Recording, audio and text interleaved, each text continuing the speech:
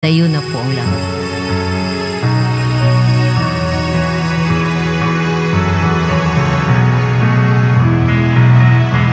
Magalak tayong lahat. Si Yesu Kristo'y nabuhay Nanaig sa kamatayan. Aleluya, Aleluya Panginoon ng naghirang Sa tinubos niyang bayan. Nagpupuring mga hindi lang Masayang nagdiriwang. Magalak tayong lahat. Si Yesu Kristo'y nabuhay Nanaig sa kamatayan Hallelujah, Hallelujah Sa ngalan ng Ama at ng Anak at ng Espiritu Santo, Amen. sumainyo ang Panginoon. At sumaiyo rin. Mga kapatid, aminin natin ang ating mga kasalanan upang marapat tayong gumanap sa banal na pagdiriwang. Inaamin ko Sa makapangyarihang Diyos at sa inyo mga kapatid, na lubha akong nagkasala sa isip, sa salita at sa gawa at sa aking pagkukulang. Kaya isinasamo ko sa mahal na Birheng Maria, sa lahat ng mga anghel at mga banal, at sa inyo mga kapatid, na ako'y panalangin sa Panginoong ating Diyos. Kaawaan tayo ng makapangyarihang Diyos. Patawarin tayo sa ating mga kasalanan at patnubayan tayo sa buhay na walang hanggan. Amen. Panginoon, kaawaan mo kami. Panginoon, kaawaan mo kami. Kristo, kaawaan mo kami. Kristo, kaawaan mo kami. Panginoon, kaawaan mo kami. Panginoon, kaawaan mo kami. Manalangin tayo. Ama naming makapangyarihan, kami naway laging maging lalong masigasig sa pagdiriwa ngayon sa iyong pag-ibig. Sapagkat sa panahong ito ng pagkabuhay, higit naming nalalaman na ang mga hinango mo sa dilim ng kasalanan ay kapitbayan ng iyong pagkaka, pagkamaasahan sa pamamagitan ni Heso Kristo kasama ng Espiritu Santo magpasawalang hanggan. Amen. Magsiupo muna po ang lahat. Pagbasa mula sa mga gawa ng mga apostol. Noong mga araw na iyon, si Felipe ay inutusan ng isang anghel ng Panginoon. Pumunta ka agad sa timog sa daang patungong Gaza mula sa Jerusalem. Ito'y ilang. Kaya't naparoon si Felipe. Sa darating naman ang isang Ethiopiang eunuko, siya ang tagapamahala sa lahat ng kayamanan ng Kandase o Reyna ng Ethiopia. Nagpunta siya sa Jerusalem at sumamba sa Diyos. Siya'y pauwi na noon, nakasakay sa kanyang karwahe at nagbabasa ng aklat ni Propeta Isaías.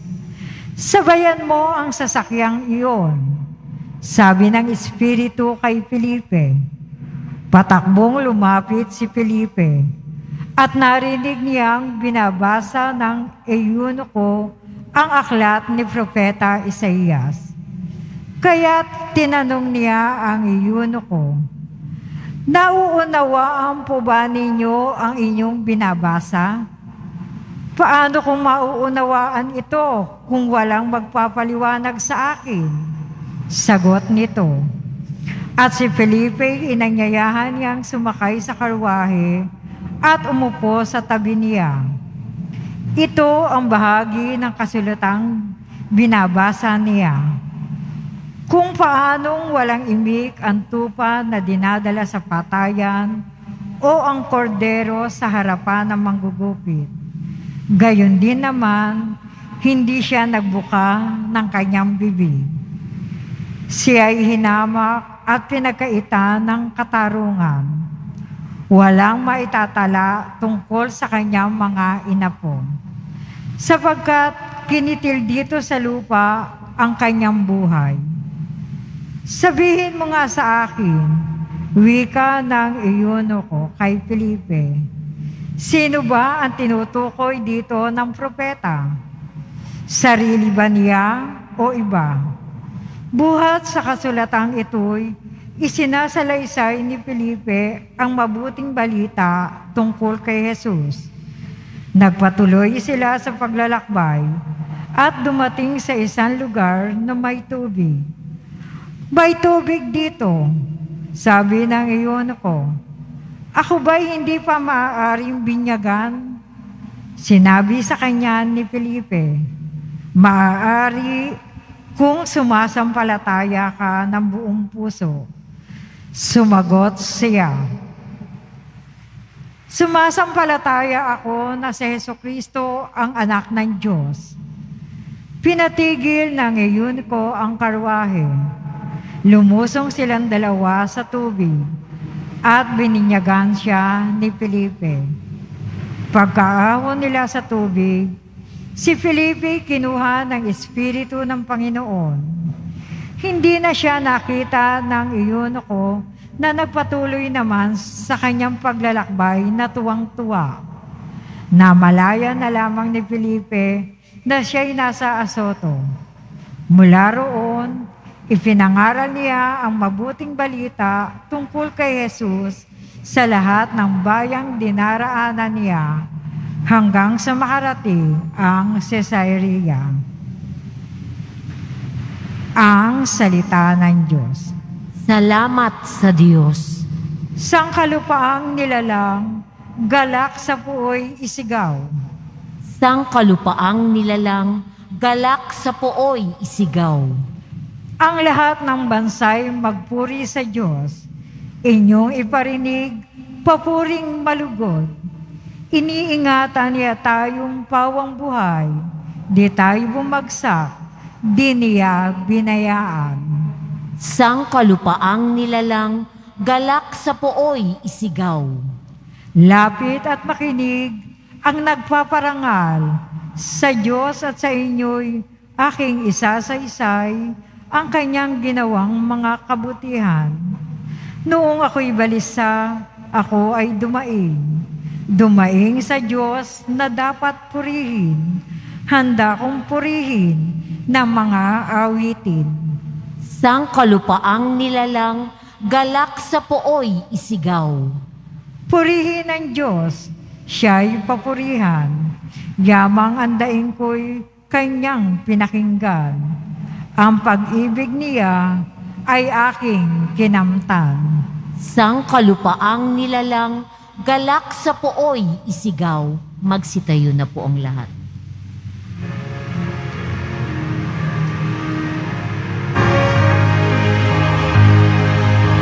Ah, Hallelujah.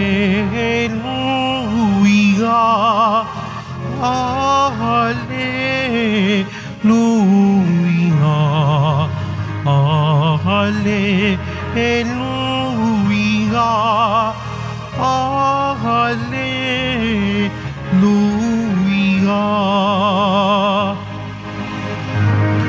Pagkaing dulot ay buhay. Si Jesus na pong mahal. Buhay natin siya kailanman. Ah, Hallelujah.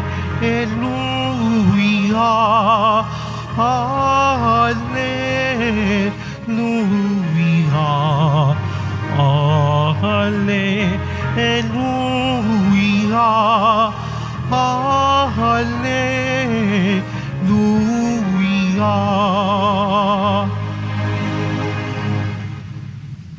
Sumainyo ang Panginoon, At sumaiyo rin. ang mabuting balita ng Panginoon ayon kay San Juan. Papuri sa iyo, Panginoon. Noong panahon iyon, sinabi ni Jesus sa mga tao, Walang makalalapit sa akin malibang dalhin siya ng amang nagsugo sa akin. At ang lalapit sa akin ay muli kong bubuhayin sa huling araw. Nasusulat sa aklat ng mga propeta, ang at silang lahat ay tuturuan ng Diyos. Ang bawat nakikinig sa Ama at natututo ay lalapit sa akin. Hindi ito mga nangangahulugang may nakakita na sa Ama. Yaong mula sa Diyos ang tanging nakakita sa Ama. Sinasabi ko sa inyo, ang nananalig sa akin ay may buhay na walang hanggan. Ako ang pagkaing nagbibigay buhay. Kumain ang mana, ang inyong mga ninuno nang sila'y nasa ilang ngayon may namatay sila.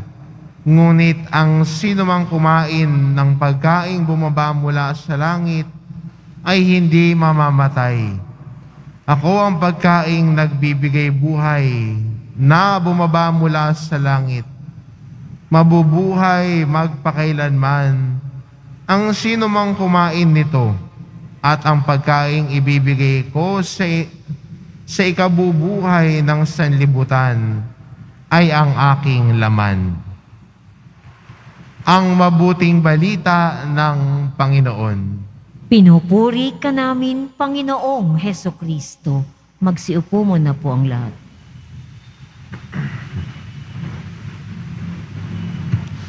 Sa atin noong unang pagbasa, narinig po natin ang kwento ho ni Felipe na mayroon siyang nakilala ha, sa daan.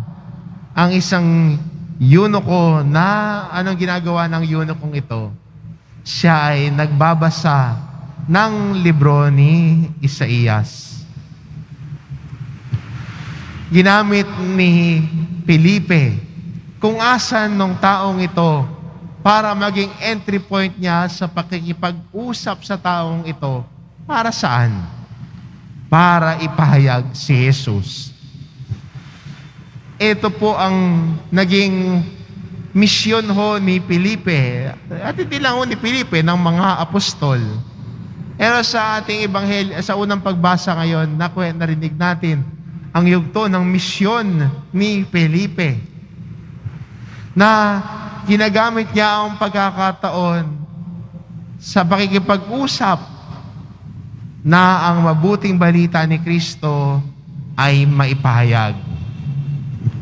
Maganda rin po sa atin bilang mga Kristiyano ho ngayon na sa ating pagsunod sa mahal na pong Isus Nazareno ay niyakap din po natin ang misyon na ito na palaganapin ang kanyang salita. Ipahayag ang kanyang salita lalong-lalo na ho sa mga taong na panghihinaan ng loob o na nais sumpungan ang muka ng Diyos. Nais siyang makilala. At sana po tayo mga Kristiyano ang magpakilala kay Jesus. Sana hindi tayo ang dahilan ng paglayo ng ibang tao kay Jesus.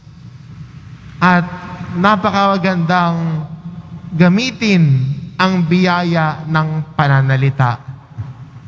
Sa pananalita, ginamit ni Felipe ito para ipahayag si Jesus.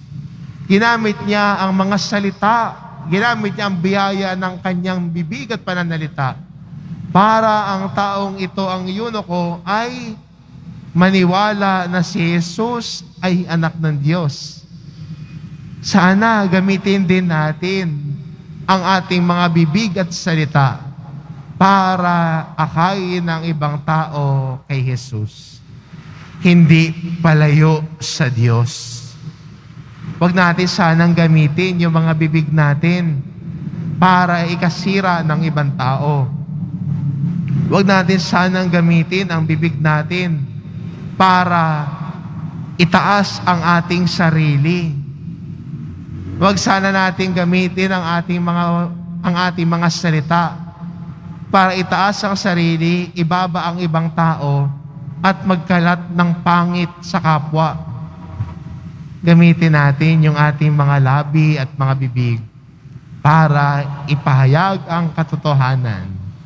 At ang pinakamatinding katotohanan ay ang katotohanan tungkol kay Jesus. Gamitin ang biyayang ito para ipahayag ang mabuting balita.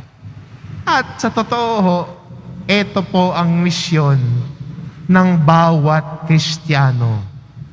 Tayo bilang mga nananalig kay Jesus, ito ho ang misyon natin na palaganapin ang salita ni Jesus na ang mga taong naisumpungan ng kanyang muka ay maakay natin sila doon. Sa unang pagbasa, narinig natin ang kwento ni Felipe na kinuha ang pagkakataon na ipahayag ang mabuting balita ni Kristo sa taong kanyang nakasalubong. Tayo po mga Kristiyano ay hilingin din natin ang grasya sa poong Isus Nazareno na tayo din ay yakapin ang parehong misyon na ipahayag ang kanyang salita. Ipahayag ang kanyang mabuting balita sa iba. At yan po tayo nagle-level up bilang mga deboto. Hindi na tayo tagakinig lamang, kundi tagapahayag din tayo ng kanyang salita. I-level up natin ang ating debosyon sa Poong Jesus Nazareno. Tayo na ngayon ay maging saksi ng kanyang kabutihan, tagapahayag ng kanyang salita. Amen.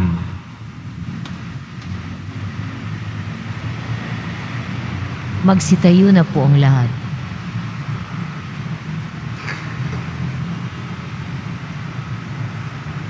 Minamahal ko mga kapatid, lumapit tayo ngayon at manalangin sa Diyos Ama. Nasa kabutihan ng kanyang puso ay isinugo ang kanyang anak, ang tinapay ng buhay. Ang ating itugon, Ama, turuan mo kami sa pamamagitan ng iyong anak. Ama, turuan mo kami sa pamamagitan ng iyong anak.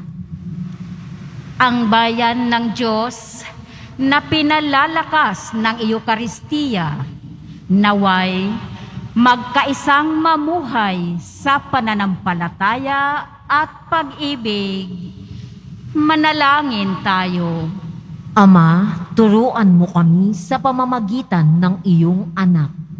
sa pagtanggap natin sa Eukaristiya ng may pagpapahalaga, naway mapalalim natin ang pag-ibig sa isa't isa. Manalangin tayo. Ama, turuan mo kami sa pamamagitan ng iyong anak. Tayo naway hindi magkulang sa pagbabahagi ng mga biyaya sa mga nangangailangan at sa gayon ay makatulad tayo ni Kristo na nag-alay ng sarili. Manalangin tayo. Ama, turuan mo kami sa pamamagitan ng iyong anak. ang mga may karamdaman sa katawan at pag-iisip, naway palakasin ng kanilang pagtanggap sa katawan at dugo ni Kristo sa Eukaristiya. Manalangin tayo. Ama, turuan mo kami sa pamamagitan ng iyong anak. Ang mga yumao, naway makabahagi sa ipinangakong piging sa langit ng Panginoon. Manalangin tayo. Ama, turuan mo kami sa pamamagitan ng iyong anak. Ama naming makapangyarihan, patnubayan mo kami sa aming paglalakbay at tulungan kaming lumakad sa daan ng iyong anak na si Jesus na siyang tinapay ng buhay. Hinihiling namin ito sa pamamagitan ni Kristo na aming Panginoon. Amen. Magsiupo mo na po ang lahat.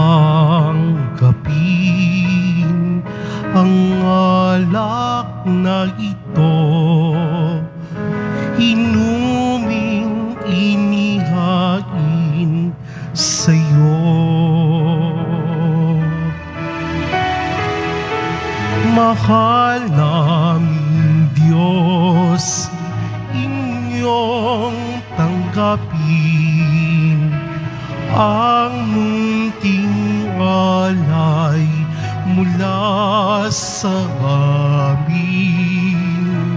Noong puso namin hihintayin pagpapala na aming Magsitayo na po ang lahat. Manalangin kayo mga kapatid, upang ang paghahain natin ay kalugdan ng Diyos amang makapangyarihan. Tanggapin nawa ng Panginoon itong paghahain sa iyong mga kamay sa kapurihan niya at karangalan sa ating kapakinabangan at sa buong sambayanan niyang banal.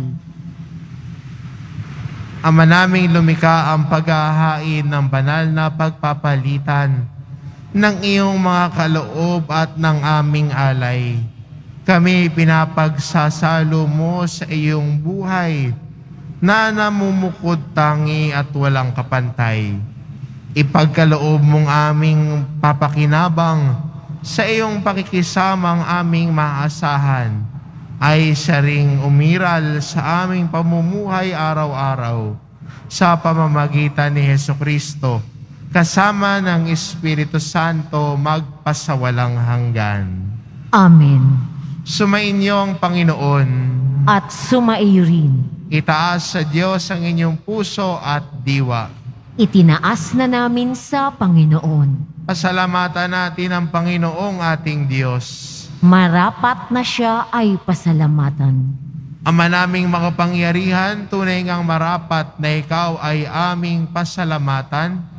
Ngayong ipinagdiriwang ang, ang paghahain ng Mesiyas. Ang maamong tupa na tumubos sa aming lahat. Siya ay talagang maasahan at ang katapatan niya sa pananagutan ay siyang bumago sa dating pamumuhay sa sangkatauhang namihasa sa pagkasalawahan. Ang dangal ng tao ay ganap na itinampok upang mamana namin ang pakikipagkapatid kay Jesus. Kaya kaysa ng mga anghel na nagsisiawit ng papuri sa iyo, nang walang umpay sa kalangitan, kami nagbubunyi sa iyong kadakilaan. Santo, Santo, Santo, Panginoong Diyos ng mga hukbo, napupuno ang langit at lupa ng kadakilaan mo o sana sa kaitaasan. Pinagpala ang naparirito sa ngala ng Panginoon o sana sa kaitaasan. Magsilhod po ang lahat. Ama namin banal, ikaw ang bukal ng tanang kabanalan.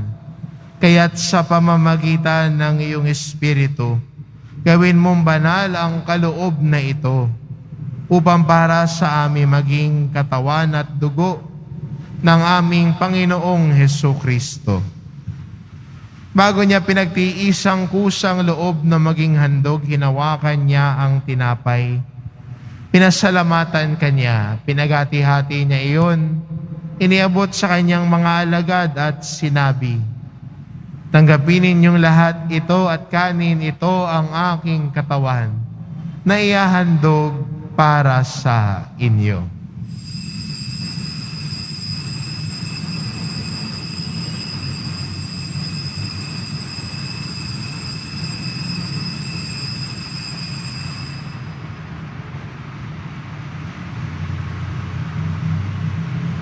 Kaya hindi naman na matapos ang hapunan, hinawakan niya ang kalis.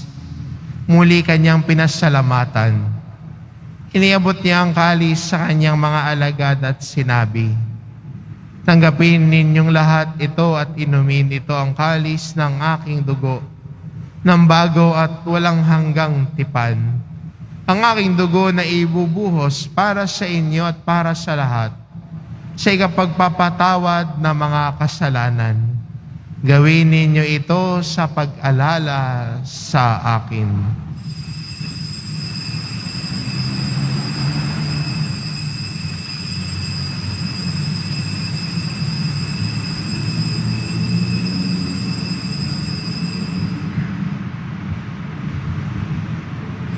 Ipagbunyi natin ang misteryo ng pananampalataya.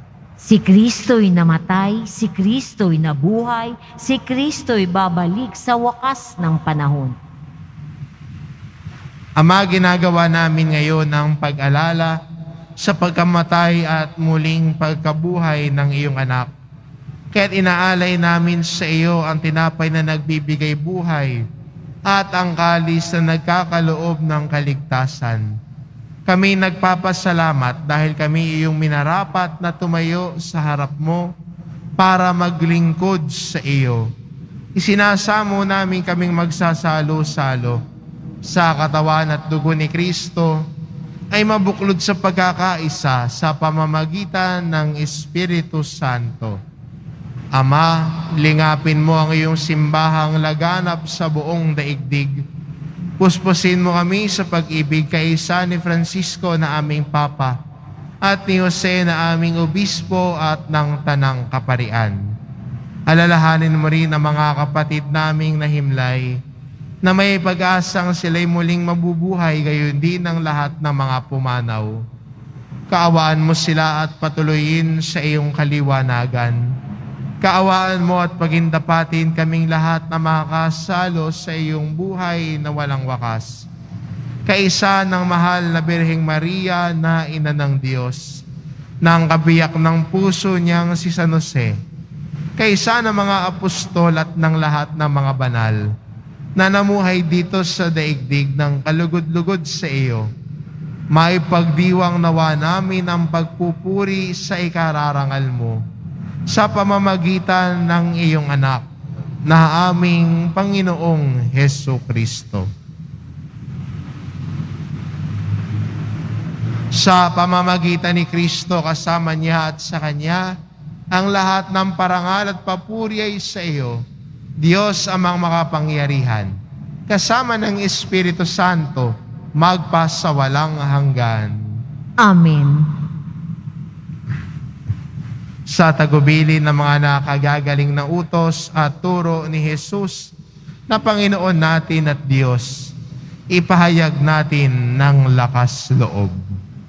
Ama namin, sumasalangit ka, sambahin ang ngalan mo, mapasa amin ang kaharian mo, sundin ang loob mo dito sa lupa para nang sa langit.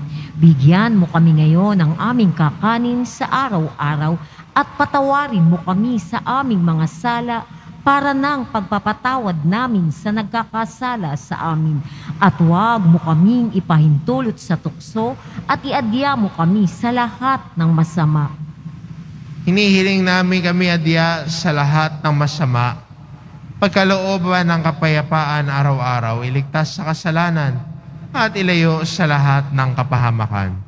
Samantalang aming pinananabikan ang dakilang araw ng pagpapahayag ng tagapagligtas naming si Heso Kristo.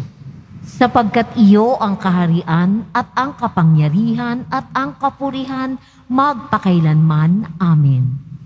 Panginoong Heso Kristo, sinabi mo sa iyong mga apostol, Kapayapaan ang iniiwan ko sa inyo, ang aking kapayapaan ang ibinibigay ko sa inyo. Tunghayan mo ang aming pananampalataya at huwag ang aming pagkakasala. Pagkalooban mo kami ng kapayapaan at pagkakaisa. Ayon sa iyong kalooban, kasama ng Espiritu Santo, magpa sa walang hanggan. Amen. Ang kapayapaan ng Panginoon ay laging sumainyo. At sumaiyo rin. Magbigayan kayo ng kapayapaan sa isa't isa. Kordero ng Diyos na nag-aalis ng mga kasalanan ng sanlibutan, maawa ka sa amin. Kordero ng Diyos na nag-aalis ng mga kasalanan ng sanlibutan, maawa ka sa amin. Kordero ng Diyos na nag-aalis ng mga kasalanan ng sanlibutan, ipagkaloob mo sa amin ang kapayapaan. Magsilhod po ang lahat. Ito ang kordero ng Diyos, ito nag-aalis ng kasalanan ng sanlibutan. Mabalad ang mga inaanyayahan sa kanyang piging. Panginoon, hindi ako karapat dapat na magpatuloy sa iyo, ngunit sa isang salita mo lamang ay gagaling na ako.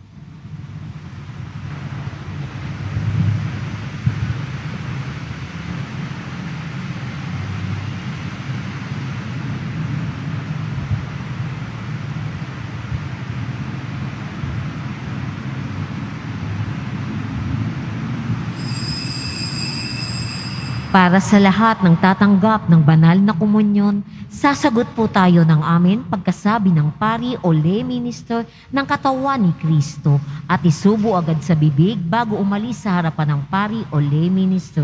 Sumunod po tayo. Maraming salamat po.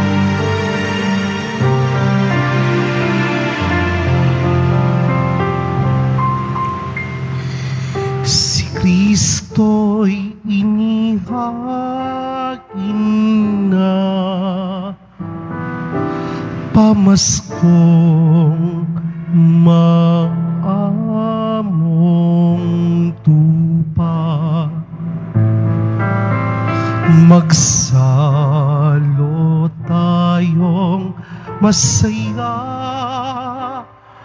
sa tinapay na pamista.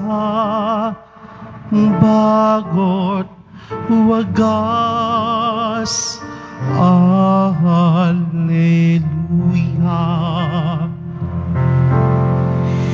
Purihin ang Panginoon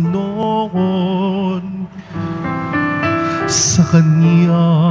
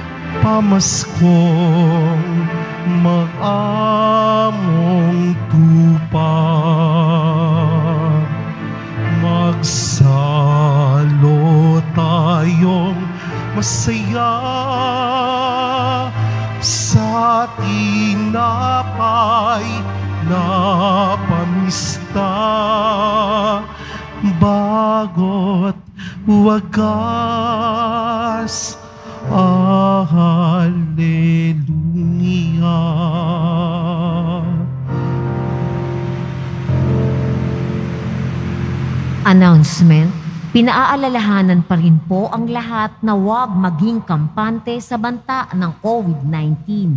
Bagos, dapat nating ipagpatuloy ang tamang pagsunod sa minimum public health standards, ang pagsusuot ng tamang face mask. Pagkatapos ng misa, wiwisikan po ang lahat ng banal na tubig. Pinakikiusapan ng lahat na manatili lamang muna sa inyong mga lugar. Tanging sa Quezon Boulevard o sa Plaza San Juan lamang ang labasan ng lahat. Sumunod po tayo. Maraming salamat po sa inyong pagdalaw at pagsisimba sa Basilica Menor ng Itim na Nazareno. Magsitayo na po ang lahat. Manalangin tayo. Ama naming mapagmahal, manatili kang kapiling ng iyong sambayanan na ngayon pinapakinabang mo sa iyong sariling buhay. At gawin mong kami pasulong na makahakbang mula sa dati naming pagka makasalanan patungo sa pagbabagong nagdudulot ng iyong kabutihan. Sa pamamagitan ni Heso Kristo kasama ng Espiritu Santo, magpasawalang hanggan. Amen. Sumainyo ang Panginoon, At sumaiyo rin. iyo ko ang inyong ulo para sa pagbabasbas. Mahal na pong Isus Nazareno, inihayag mo sa pamamagitan ng krus ang walang maliw na pag-ibig ng Diyos sa sangkatauhan. Pakinggan mo ang kahilingan ng iyong angka na nagsusumamo sa iyo. Makamtan nawa nila ang iyong katugunan at tanggapin ang kasagutan ng may utang na loob na tinatanaw. Basbasan din po ninyo ang mga may daladala nilang imahin at dasalan. Sa pamamagitan ng bendisyon na ito, naway maalala nila ang mga pangako nila noon sa binyag na ikaw ang kanilang iibigin at paglilingkuran bilang Panginoon magpasawalang hanggan. Amen. At pagpalain kayo ng ating mapagmahal na Diyos, ang Ama at ang Anak at ang Espiritu Santo. Amen. Umayo kayo, taglay ang kapayapaan ng poong Jesus Nazareno. Salamat sa Diyos.